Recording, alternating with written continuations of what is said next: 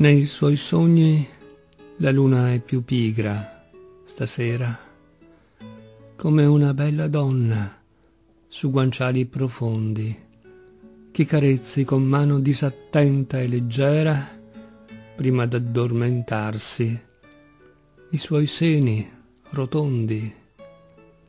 Lei, su un selico dorso di molli aeree nevi, moribonda s'estenua in perduti languori, con gli occhi seguitando le apparizioni lievi che sbocciano nel cielo come candidi fiori. Quando a volte dai torpidi suoi ozi una segreta lacrima sfugge e cade sulla terra, un poeta nottambulo raccatta con mistico fervore nel cavo della mano quella gocciola frale, pallida e iridescente come scheggia d'opale, e per sottrarla al sole se la nasconde in cuore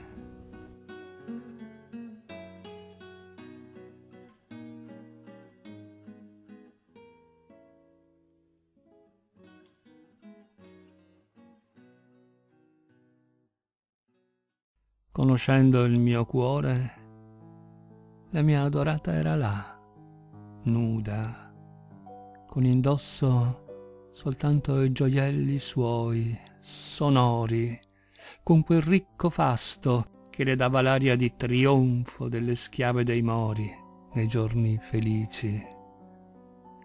Che estasi travolgente! quel mondo splendente di metalli e diamanti nella fremente danza dei suoni vivi e beffardi.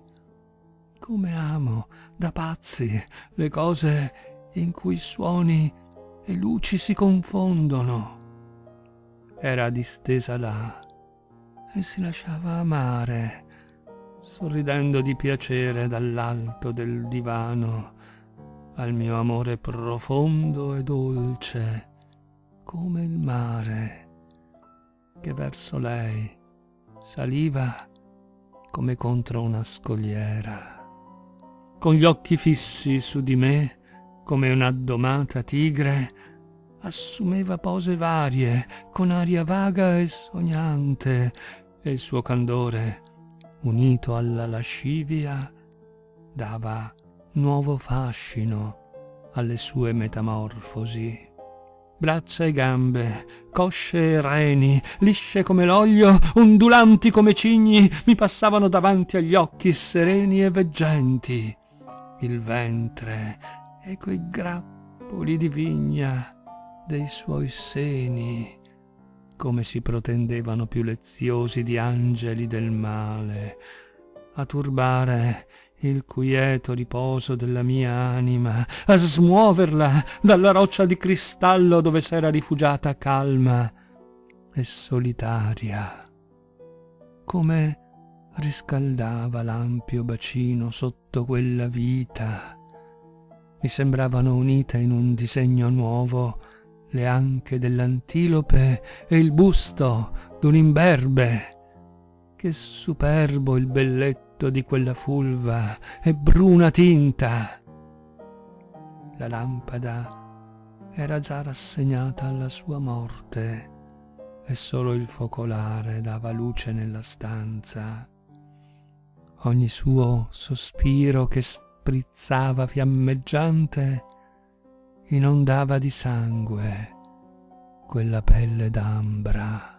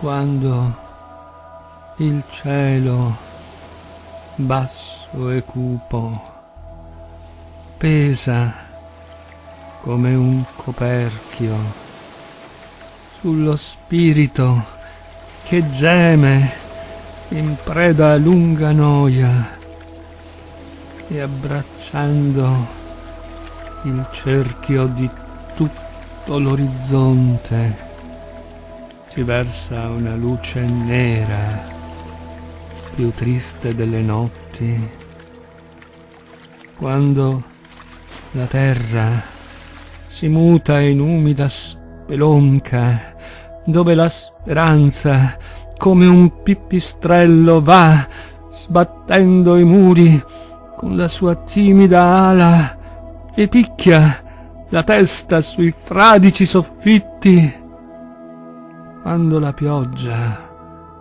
distendendo immense strisce, imita le sbarre di una vasta prigione, e un muto popolo di ragni, infami, in fondo ai nostri cervelli tende le sue reti. Campane a un tratto scattano con furia e lanciano verso il cielo un urlo orrendo, come spiriti erranti e senza patria, e si mettano a gemere, ostinati, e lunghi carri funebri, senza tamburi né musica, sfilano lenti dentro la mia anima la speranza vinta piange e l'angoscia atroce, dispotica, pianta sul mio cranio il suo nero vessillo.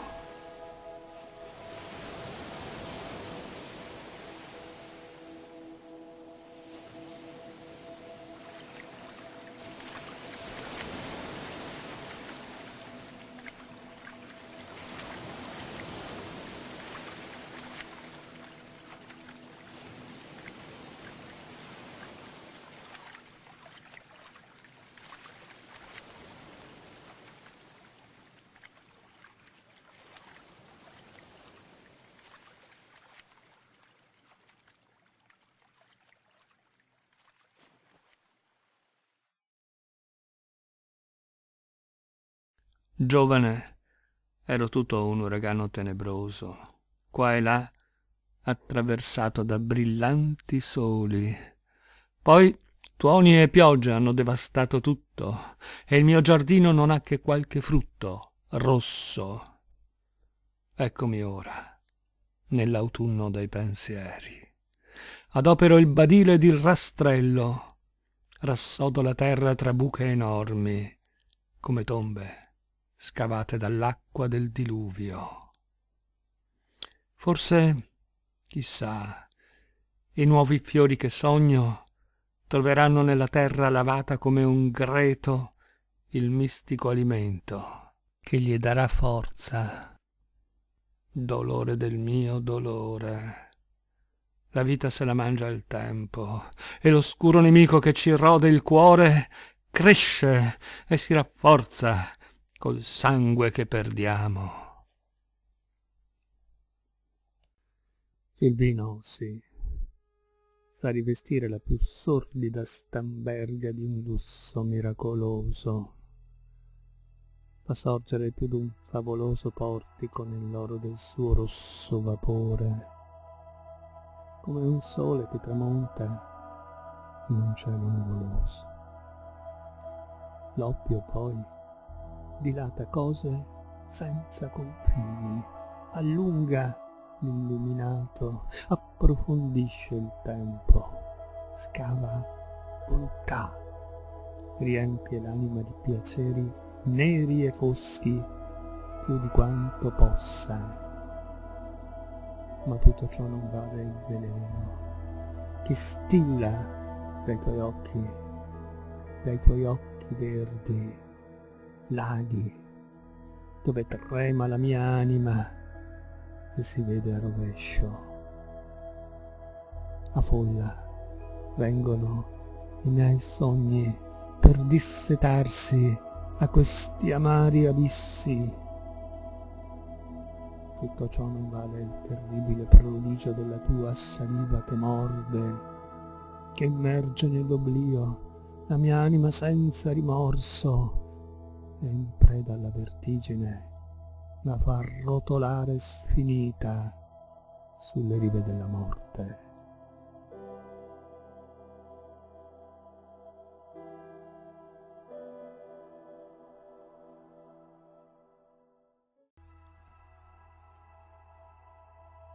Si direbbe che il tuo sguardo è velato da un vapore, il tuo occhio misterioso è azzurro, grigio o verde, ora tenero, ora sognante, ora crudele, riflette il cielo pallido e indolente. Ti ricordi quei giorni bianchi, tiepidi e velati che sciolgono il pianto? i cuori ammalati, quando scossi da un male oscuro che li torce, i nervi troppo svegli scherniscono, lo spirito che dorme.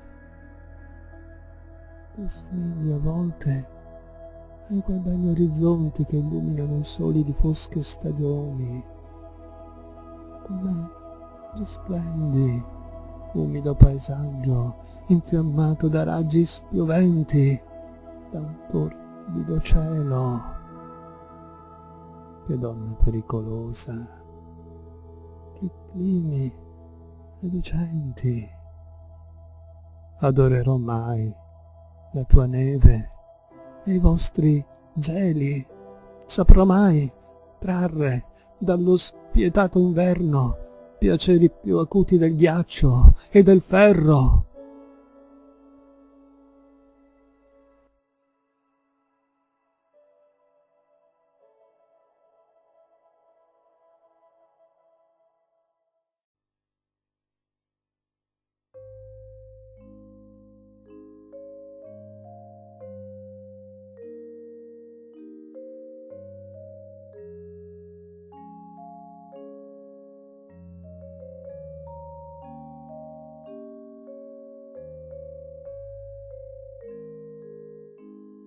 La natura è un tempio in cui pilastri vivi a volte emettono confuse parole.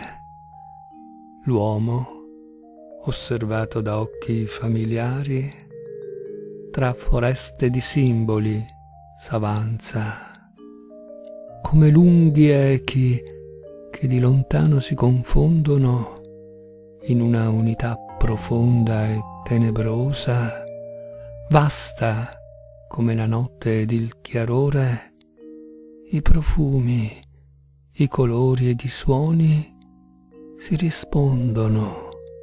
Esistono profumi freschi come carni di bambino, dolci come oboi, verdi come praterie, ed altri corrotti, ricchi e trionfanti, che hanno l'espansione delle infinite cose, come l'ambra, il muschio, l'incenso e il benzoino, e cantano l'estasi dello spirito e dei sensi.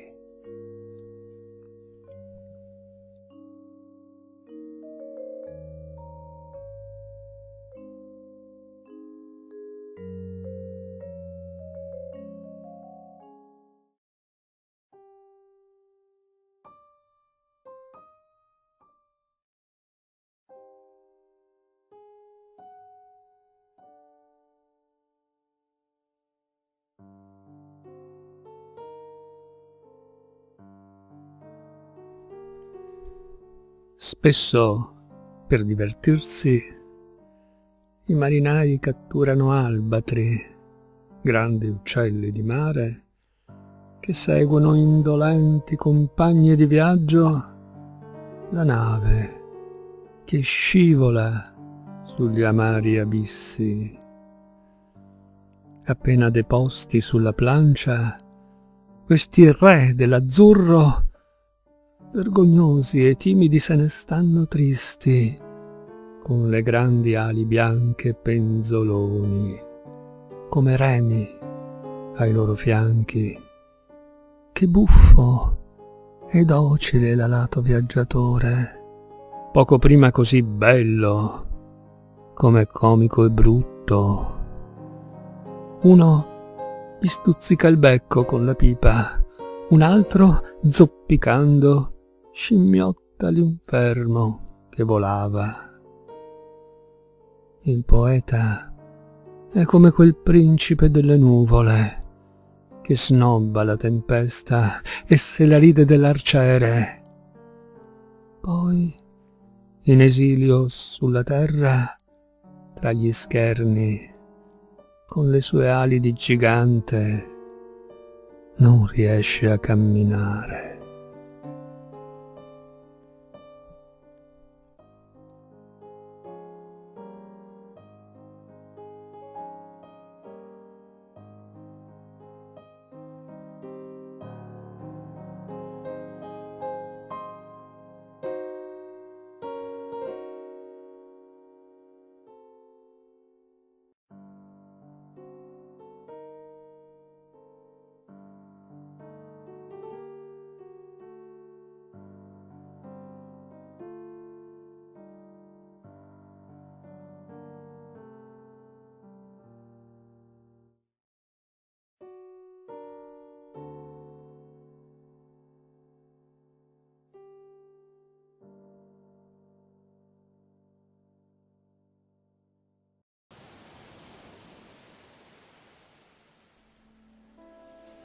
Da uomo libero, tu amerai sempre il mare.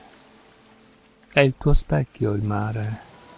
Tu contempli l'anima nell'infinito svolgersi dell'onda e non è meno amaro l'abisso del tuo spirito. Quanto godi a tuffarti in seno alla tua immagine, come l'abbracci con gli occhi e con le braccia il tuo cuore a volte si distrae dal suo battito stesso al fragore di quel lamento indomito e selvaggio.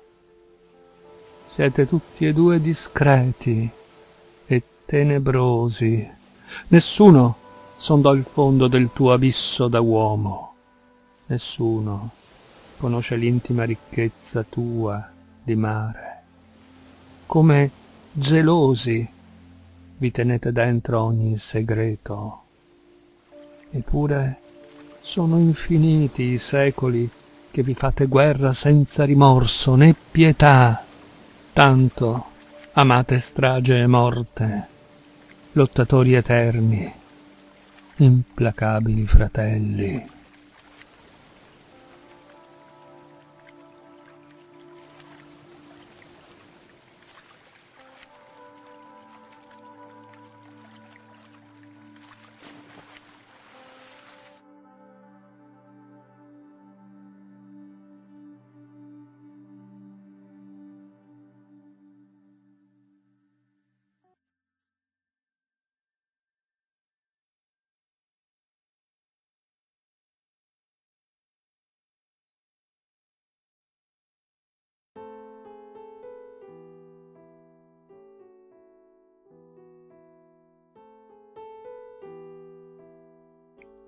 Antichi chiostri dalle grandi mura esponevano in dipinti la santa verità. Quanto calore per le pie viscere temperate nel gelo della loro austerità. Erano tempi in cui fioriva il seme di Cristo e più d'un monaco illustre, oggi poco noto, nel Camposanto, suo studio di pittore, glorificava la morte con semplicità. Ma io, in circolo come un cattivo cenobita, vivo dall'eternità un'anima che è una tomba. Nessun dipinto è sopra i muri di questo odioso chiostro. Che monaco fannullone quando saprò mai fare dello spettacolo vivente della mia triste miseria il lavoro delle mie mani e l'amore dei miei occhi.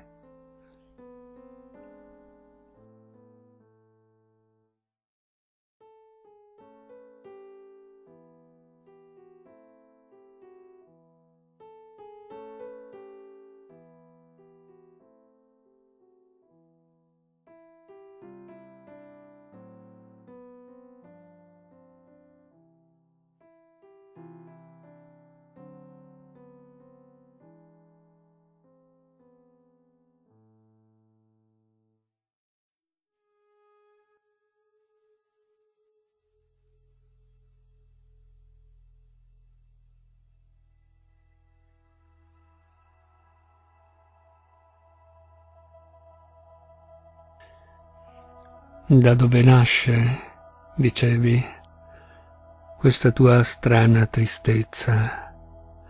Che sale come il mare sulla nera e nuda roccia, quando il cuore ha già fatto vendemmia, è un male vivere, è un segreto noto a tutti, un dolore semplicissimo che non ha mistero è come la tua gioia, aperto a tutti. E allora, che domandi, curiosona? Piantala. Non fare quella voce dolce. Zitta. Che fai, la gnorri? Zitta. Anima sempre in estasi. Bocca del riso di bambina più che la vita è la morte che ci tiene spesso con sottili nodi. E allora dai, lascia che il mio cuore si nebri di menzogna, si immerga in quegli occhi belli come in un sogno bello e dorma a lungo all'ombra di quelle tue ciglia.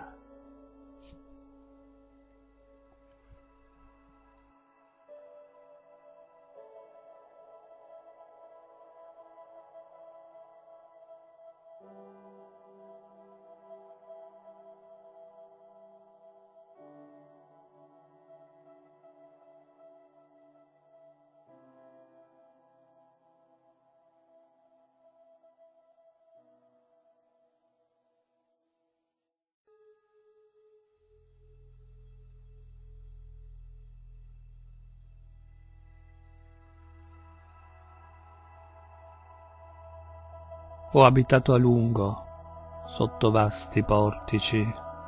Il mare rifletteva il sole in mille fuochi.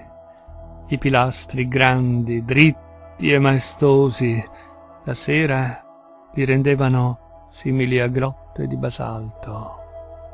Nella mobile immagine del cielo, tra i marosi, era un mischiarsi mistico e solenne di onnipotenti accordi di una ricca musica e colori del tramonto riflesso nei miei occhi. Così ho vissuto in calma voluttà, tra azzurro, onde splendori e schiavi nudi impregnati di profumo che mi rinfrescavano con palme la fronte e avevano un pensiero fisso, approfondire il dolore segreto che mi languidiva.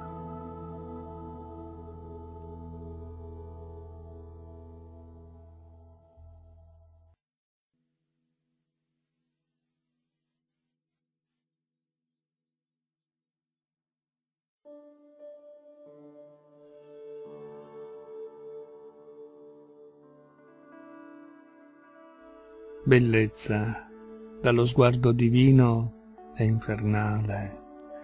Tu versi così confusi i beni e i delitti che ti si può dire pari al vino.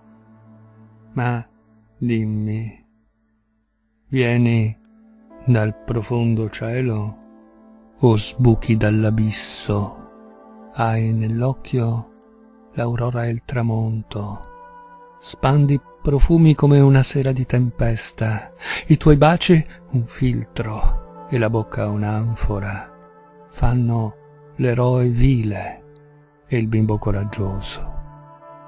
Di sbuchi dal nero abisso o scendi dalle stelle. Il destino affascinato s'attacca alle tue gonne come un cane e tu semini disastri e gioie a caso. Nulla governi e di nulla rispondi. Cammini sopra i morti, dei quali bellezza tu ti burli, dei tuoi gioielli non è certo l'orrore il meno affascinante, è l'omicidio. Tra i tuoi più cari ciondoli ti danza amoroso, sul ventre orgoglioso. L'efemera, abbagliata, vola verso di te. Candela, crepita, fiammeggia e dice fiaccola benedetta. L'innamorato ansima chino sulla sua bella con l'aria di un moribondo che carezza la sua tomba. Bellezza, mostro enorme di spavento e ingenuità. Cosa importa in fondo che tu venga dal cielo o dall'inferno? Il tuo occhio, il tuo sorriso, il tuo piede aprono la porta d'un infinito che amo e non ho mai conosciuto. Fata dagli occhi di velluto. Ritmo, profumo, raggio, unica mia regina. Da Satana o da Dio, cosa importa? Angelo o sirena, cosa importa? Tu rendi meno schifoso l'universo e meno pesante ogni momento.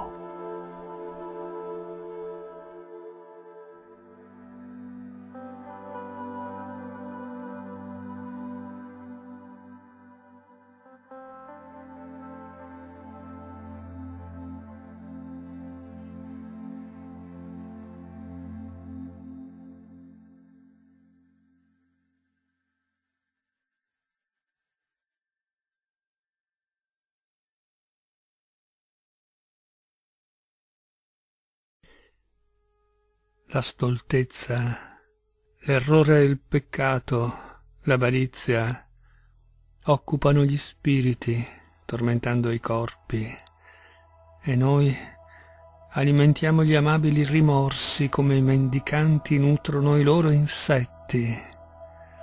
Caparbi, i peccati, fiacchi i pentimenti, ci pagano lautamente le nostre confessioni e sul sentiero del fango ritorniamo lieti, credendo che vili lacrime lavino ogni colpa.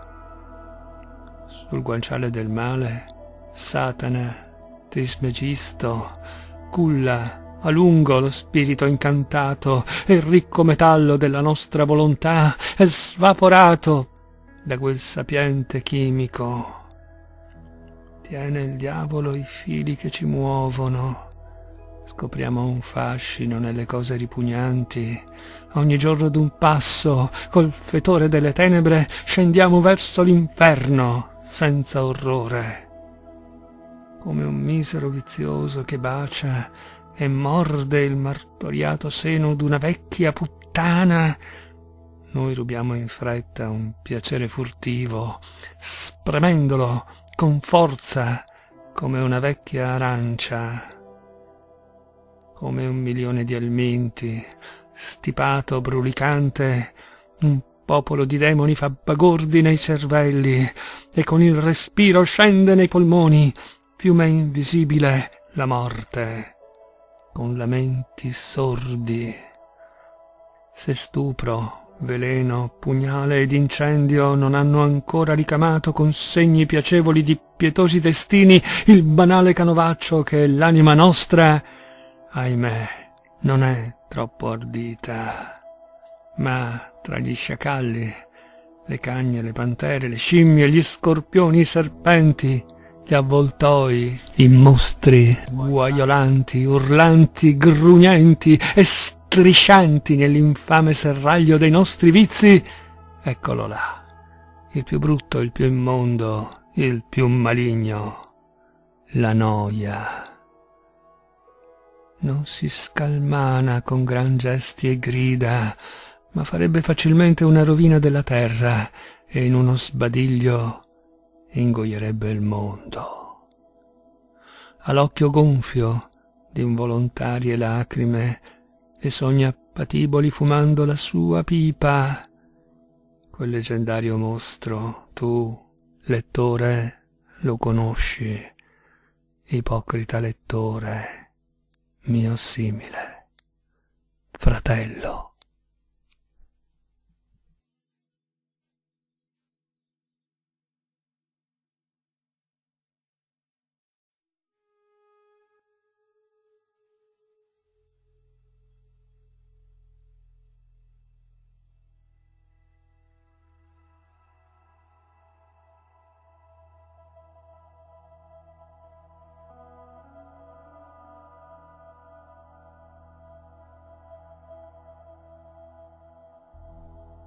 Quando, per decreto di potenze superiori, il poeta appare in questo mondo di noia, sua madre spaventata e bestemmiando stringe i pugni a Dio che ne ha pietà.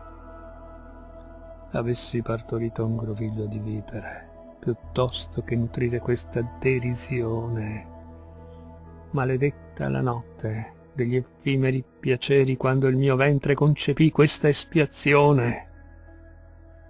Poiché mi hai scelta fra tutte le donne per essere disgusto al mio triste marito e non posso gettare questo aborto di natura come un biglietto d'amore tra le fiamme, farò rimbalzare il tuo odio che mi opprime sullo strumento maledetto delle tue malvagità e torcerò a tal punto quest'albero spregevole che non potrà più germogliare la sua peste.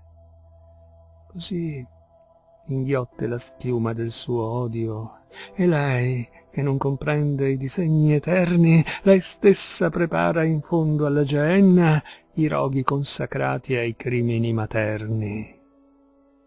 Pure sotto la tutela invisibile d'un angelo, si inebria di sole quel figlio ripudiato e in tutto ciò che beve e mangia ritrova l'ambrosia e il nettare vermiglio.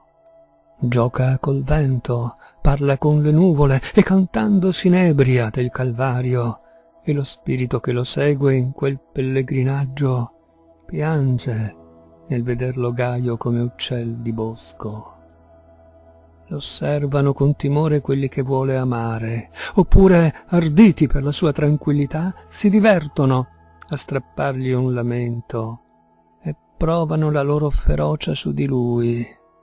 Mischiano cenere e impuri sputi nel pane e nel vino destinati alla sua bocca, buttano con ipocrisia ciò che egli tocca e si accusano di aver messo i piedi sui suoi passi. Grida sulla pubblica piazza la sua donna. Mi trova tanto bella da adorarmi, per cui farò il mestiere degli antichi idoli, diventerò d'oro come quelli un tempo. M'ubriacherò di nardo, incenso e mirra, di genuflessioni, di carni e di vini, per sapere se posso usurpare tra le risa gli omaggi divini d'un cuore che m'ammira. E quando m'annoierò dell'empia farsa, poserò la mano esile e forte su di lui. Le mie unghie, come unghie delle arpie, sapranno aprirsi un varco nel suo cuore.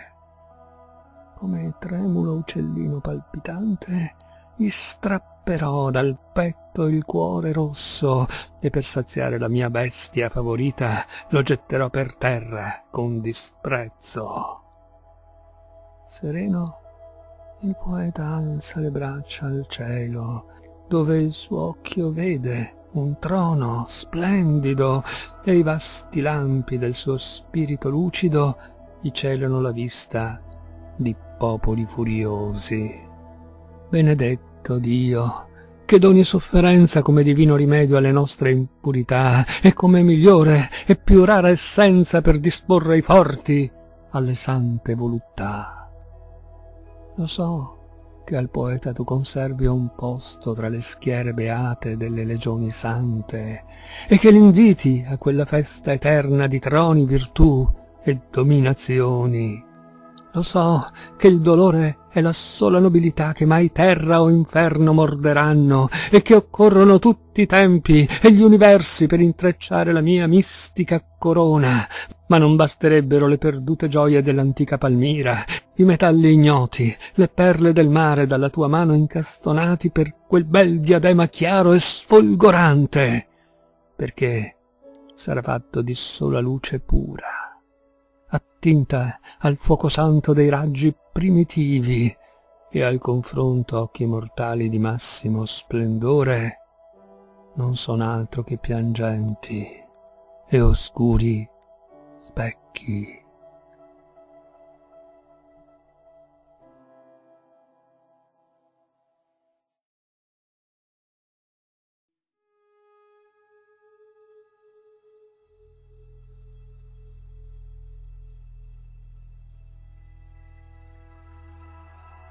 Al di là degli stagni, delle valli e dei monti, al di là dei boschi, delle nuvole e dei mari, al di là del sole, al di là dell'aria, al di là dei confini delle stellate sfere, tu, mio spirito, ti muovi con agilità e come buon nuotatore che gode tra le onde, allegro solchi la profonda immensità con indocile e maschia voluttà. Fuggi lontano dai morbosi miasmi, voli a purificarti nell'aria più alta e bevi come un puro liquido divino il fuoco chiaro che colma spazi limpidi. Felice chi, con ali vigorose, le spalle alla noia e ai vasti affanni che opprimono col peso la nebbiosa vita, si eleva verso campi sereni e luminosi. Felice chi lancia i pensieri come all'odole in libero volo verso i cieli nel mattino. Felice chi, semplice, si libra sulla vita e intende il linguaggio dei fiori e delle cose mute.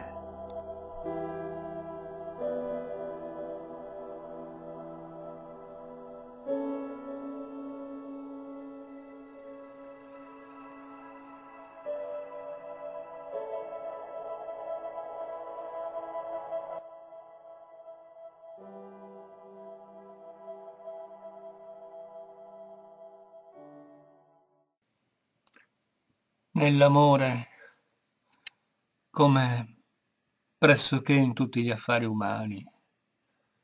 L'intesa cordiale è il risultato di un malinteso.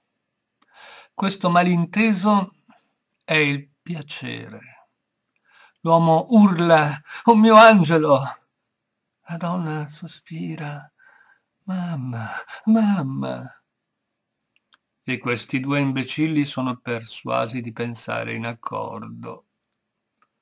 L'abisso insormontabile che fa l'incomunicabilità resta insormontato.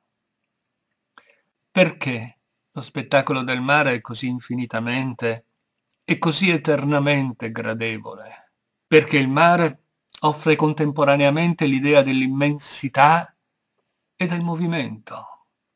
Sei o sette leghe rappresentano per l'uomo la ragione dell'infinito. Ecco un infinito diminutivo. Che importa se è sufficiente a suggerire l'idea dell'infinito totale? Dodici o quattordici leghe di liquido in movimento bastano per dare la più alta idea di bellezza che sia offerta all'uomo sul suo abitacolo transitorio. Credo di aver già scritto nelle mie note che l'amore somiglia assai a una tortura o a un'operazione chirurgica, ma questa idea può essere sviluppata nella maniera più amara. Quando anche i due amanti fossero invaghiti e gravidi al massimo di desideri reciproci, uno dei due sarà sempre più calmo e meno posseduto dall'altro. Quello o quella è il chirurgo o il boia. L'altro è il sottomesso, la vittima. Non sentite quei sospiri, quei preludi a una tragedia del disonore, quei gemiti, quelle grida, quei rantoli. Chi non li ha proferiti? Chi non li ha irresistibilmente storti? E che trovate voi di peggio nella domanda posta da agozzini accurati, con gli occhi di sonnambulo rivoltati? quelle membra in cui i muscoli sprizzano e si irrigidiscono come sotto l'effetto di una pila galvanica. L'ebbrezza, il delirio, l'oppio, nelle loro reazioni più furiose. Non ve ne daranno certo esempi così orribili, così curiosi. È il volto umano che Ovidio riteneva creato per riflettere, gli astri. Ecco che non parla più che un'espressione di folle ferocia, o che si rilassa in una specie di morte. C'è che di certo io crederei di fare un sacrilegio applicando la parola estasi a questa specie di decomposizione un gioco spaventoso dove occorre che uno dei due giocatori perda il controllo di se stesso. Una volta ho chiesto a me presente in cosa consistesse il più grande piacere dell'amore. Qualcuno rispose con naturalezza nel ricevere e un altro nel donarsi. Quello dice piacere d'orgoglio e quell'altro voluttà d'umiltà. Tutti quegli sconci parlavano come l'imitazio Cristi. Infine si trovò uno spudorato utopista che affermò che il più grande piacere nell'amore era quello di formare dei cittadini per la patria. Io dico, la voluttà unica e suprema dell'amore giace nella certezza di fare il male. E l'uomo e la donna sanno, sin dalla nascita, che nel male si trova tutta la voluttà.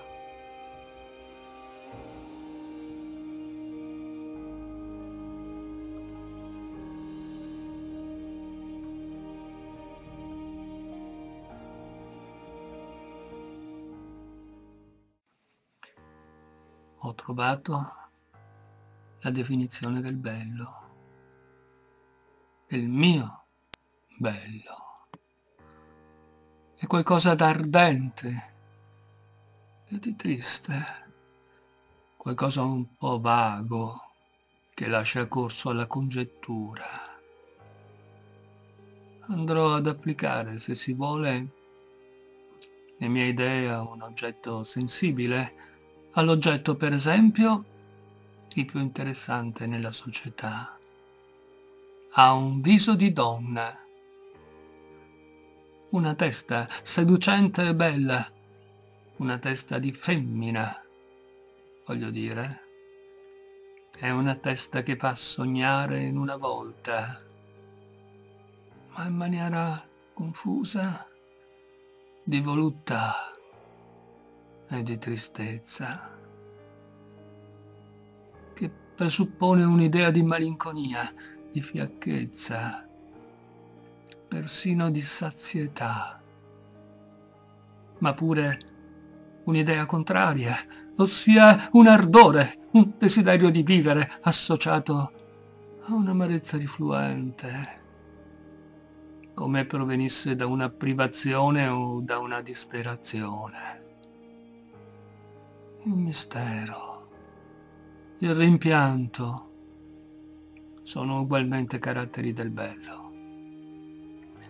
Una bella testa d'uomo non ha bisogno di presupporre, eccetto forse agli occhi d'una donna, agli occhi d'un uomo ben inteso, quell'idea di voluttà. Che nel viso di una donna è una provocazione, tanto più attraente quanto più il viso è generalmente più malinconico. Ma questa testa conterrà in sé qualcosa d'ardente e di triste, dei bisogni spirituali, delle ambizioni tenebrosamente rimosse, l'idea di una possanza che ringhia e senza impiego, talvolta l'idea di una insensibilità vendicatrice. C'è che il tipo di idea del dandy non è da trascurare a questo proposito. Talvolta anche ed è uno dei caratteri della bellezza più interessanti, il mistero. E infine, purché io abbia il coraggio di confessare fino a che punto mi sento moderno in estetica, l'infelicità. Io non pretendo che la gioia non possa associarsi con la bellezza, ma dico che la gioia ne è uno degli ornamenti più volgari mentre la melanconia ne è per così dire illustre compagna, al punto che io non concepisco affatto. Il mio cervello sarebbe uno specchio stregato, un tipo di bellezza in cui non vi sia dell'infelicità, sostenuto altri direbbero, ossessionato da queste idee. Si comprende che mi sarebbe difficile non concluderne che il più perfetto tipo di bellezza virile è Satana, alla maniera di Milton.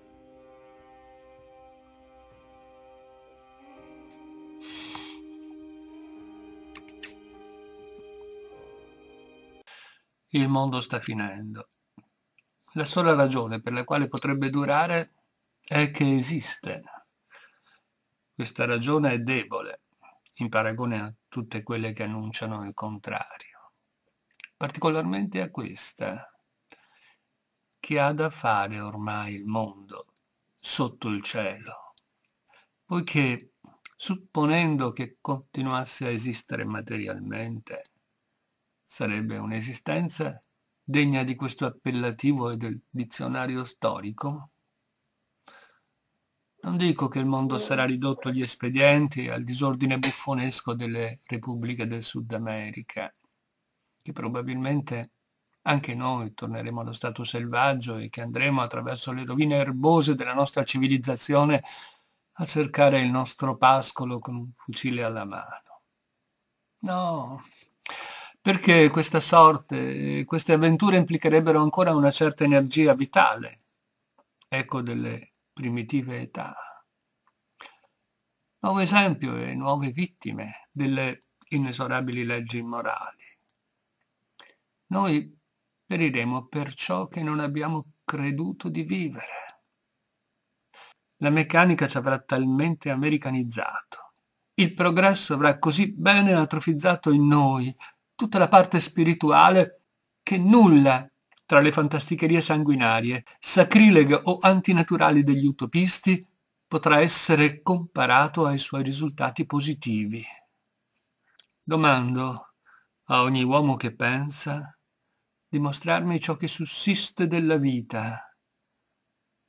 Della religione credo inutile parlarne e di cercarne i gesti, poiché darsi ancora la pena di negare Dio è il solo scandalo in materie simili.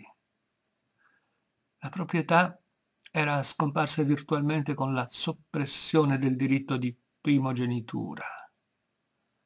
Ma verrà un tempo in cui l'umanità, come un orco vendicatore, arrafferà il loro ultimo boccone a quelli che credono di aver ereditato legittimamente dalle rivoluzioni. Tuttavia, non sarebbe lì il male supremo. L'umana immaginazione può concepire, senza darsi troppa pena, delle repubbliche o altri stati comunitari degni di qualche gloria, se sono diretti da uomini consacrati, da certi aristocratici. Ma non è particolarmente grazie alle istituzioni politiche che si manifesterà la rovina universale o il progresso universale, dato che il nome poco importa. Sarà grazie all'avvilimento dei cuori.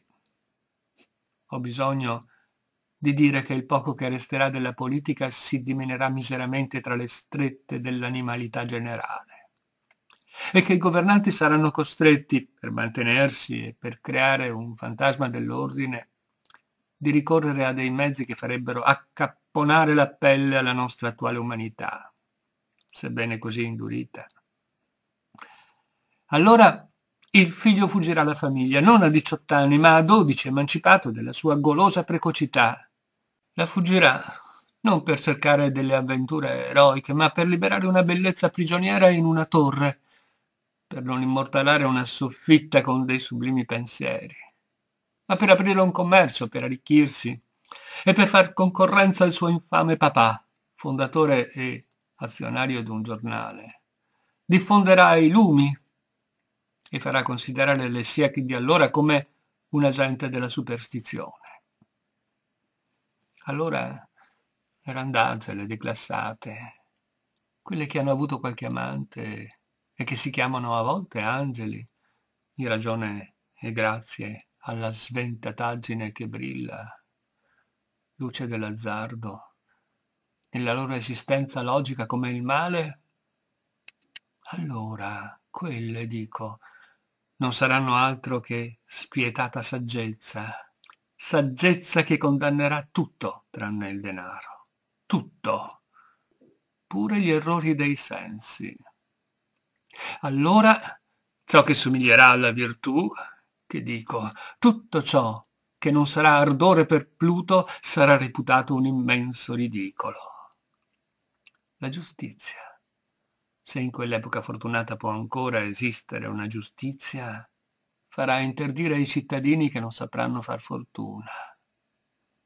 La tua sposa, o oh borghese, la tua casta metà, la cui legittimità fa per te la poesia, introducendo ormai nella legalità un'infamia irreprensibile, guardiana vigilante e amorosa della tua cassaforte, non sarà più che l'ideale perfetto della femmina mantenuta.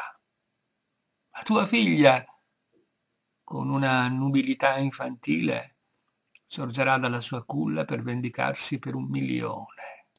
E tu stesso, o oh borghese, ancora meno poeta di quanto tu lo sia oggi, tu non vi troverai niente da ridire tu non avrai alcun rimpianto, perché vi sono cose nell'uomo che si fortificano e prosperano nella misura in cui le altre si rendono delicate e si sminuiscono. E grazie al progresso di quei tempi, delle tue budella non ti resterà che le viscere. Questi tempi sono forse assai prossimi, chissà che non siano già venuti. E se l'ispessimento della nostra natura non è il solo ostacolo che ci impedisce di apprezzare l'ambiente in cui respiriamo. Quanto a me, che sento talvolta in me il ridicolo d'un profeta, io so che non vi troverò mai la carità di un medico. Perduto in questo mondo villano, urtato col gomito dalla folla, sono come un uomo stanco il cui occhio non vede dietro negli anni profondi altro che disinganno e amarezza, e davanti a sé altro che una tempesta in cui niente di nuovo v'è contenuto, né insegnamento né dolore. La sera in cui quest'uomo ha rubato al destino qualche ora di piacere, cullato nella sua digestione, dimentico per quanto possibile del passato, contento del presente e rassegnato all'avvenire, inebriato del suo sangue freddo e del suo dandismo, fiero di non essere così basso come quelli che passano, e gli si dice contemplando il fumo del suo sigaro. Che mi importa dove vanno queste coscienze? Io credo che ho deviato in ciò che la gente del mestiere chiama un capolavoro. Tuttavia lascerò queste pagine perché voglio datare la mia tristezza.